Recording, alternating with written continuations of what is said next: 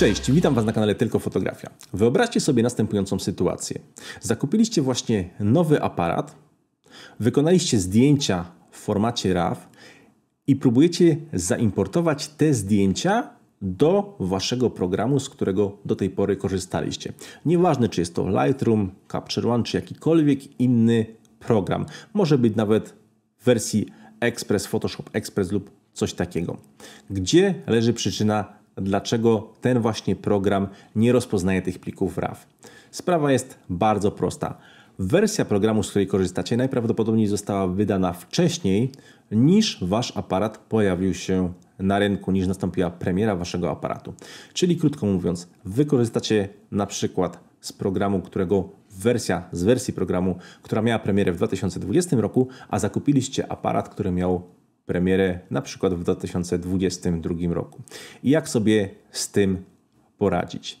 Będzie do wszystkiego potrzebny Wam program Adobe DNG Converter, czyli program, który konwertuje zdjęcia z formatów RAW, wszystkich, on rozpoznaje wszystkie formaty, do formatu DNG. Jest to otwarty format, który został opracowany przez firmę Adobe. Korzystają z niego wszystkie programy firmy Adobe. Oczywiście tutaj też następuje podobna sytuacja, mianowicie ten program również nie rozpozna plików RAW, które są nowsze niż wersja programu, kiedy on został po prostu wydany. Dlatego zawsze powinniście pobrać najnowszą wersję tego programu. I jeszcze krótka uwaga na temat pobierania.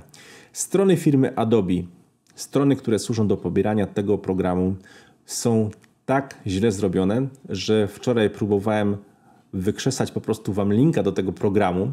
Niestety nie udało się. Za każdym razem, kiedy klikałem na download, tak, na przycisk, który służy do pobierania tego programu, przekierowywał mnie na inną stronę, łącznie ze stroną pomocy pobierania programu Photoshop.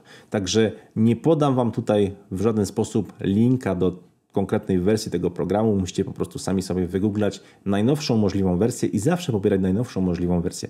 Dobra, ale dosyć gadania, przejdźmy teraz do konkretów. Jak to wygląda? Jeżeli chodzi o program konwerter DNG, jest to bardzo prosty program. Okno tego programu jest bardzo proste. Mamy nawet ponumerowane wszystkie kroki, które powinniśmy wykonać. W pierwszej kolejności wybieramy folder z plikami źródłowymi. Ja tu akurat mam pliki w formacie ARW. Tutaj jakiś jeden plik DNG się również przypałętał, ale mniejsza o to.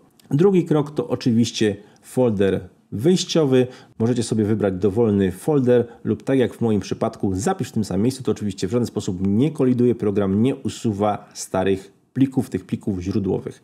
Następnie bardzo proste tutaj menu do konwersji nazw tych plików, czyli możecie sobie wybrać tutaj nazwę dokumentu, duże, małe litery, numer seryjny, data, tego typu rzeczy. Także tu macie akurat cztery kombinacje, możecie to dowolnie mieszać. Nic tutaj nie stoi na przeszkodzie, aby w jakikolwiek sposób zmienić nazwę tego pliku. Ok, i teraz, jeżeli klikniecie przycisk konwertuj, on skonwertuje pliki RAW do formatu DNG, ale do najnowszej możliwej wersji, którą najprawdopodobniej wasz program również nie rozpozna. Co w takim razie powinniście zrobić? Kliknąć przycisk Zmień preferencje i tutaj mamy zgodność.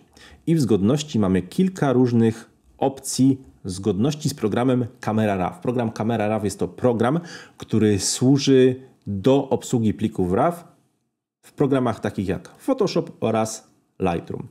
I tutaj mamy od wersji 2.4, która była stosowana w Lightroomie 1 do wersji 14 lub nowszej, która jest stosowana w obecnych wersjach Photoshopa oraz Lightrooma. Ale w jaki sposób wybrać właściwą wersję? O tutaj musicie postąpić w następujący sposób. Na stronie tylkofotografia.pl link znajdziecie tutaj teraz na ekranie. Możecie znaleźć tabelkę, w której umieściłem następujące informacje. Wersję programu Camera RAW zgodna z tym menu oraz datę wydania. Czyli na przykład wersja programu Camera RAW 4.6 powstała według tutaj moich notatek w październiku 2008 roku. Czyli jeżeli wasz program, z którego korzystacie, został wydany, załóżmy w 2021 roku, to ja proponuję skorzystać z wersji Camera RAW 12.4, która powstała w sierpniu 2020 roku. Zgodność powinna zostać zachowana i nie ma najmniejszego problemu, aby wasz program odczytał właśnie tego typu skonwertowane pliki DNG. Dobra, a co w przypadku, kiedy naprawdę macie jakiś bardzo niszowy program i on nie rozpoznaje nawet tych skonwertowanych w taki sposób plików? Jest jeszcze jedna opcja. Ustawienia własne. Pierwsza rzecz nas nie interesuje. Możecie wybrać sobie najwcześniejszą wersję formatu pliku DNG. Tu chodzi tylko i wyłącznie o ten format zapisu tego pliku, a nie to, co jest w środku. I wybieracie opcję liniowy. I zaraz przeczytam Wam dokładnie, co producent pisze, firma Adobe, na temat tej właśnie opcji. Liniowy, niemozaikowy.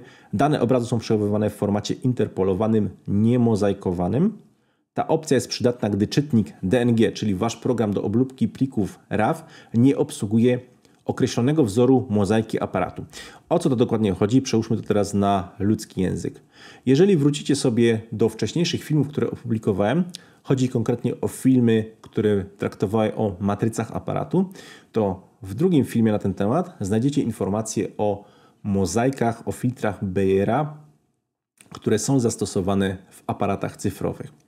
I 90% problemów właśnie ze zgodnością y, plików RAW ze starszymi wersjami polega na tym, że została tam zastosowana inna mozaika, inny filtr Bayera niż program obsługuje. W związku z czym on nie potrafi dopasować w tym konkretnym pliku RAW, który został wygenerowany przez wasz aparat konkretnej mozaiki i nie jest w stanie tego rozkodować.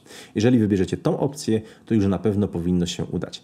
A jeżeli dalej się nie udaje, to naprawdę zmieńcie wasz program do obróbki plików RAW, ponieważ jest to albo bardzo stary, albo bardzo niszowy program, z którego po prostu nie warto już w żaden sposób korzystać.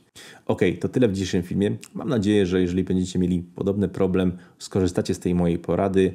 A to już wszystko na dzisiaj. Żegnam Was, trzymajcie się, cześć.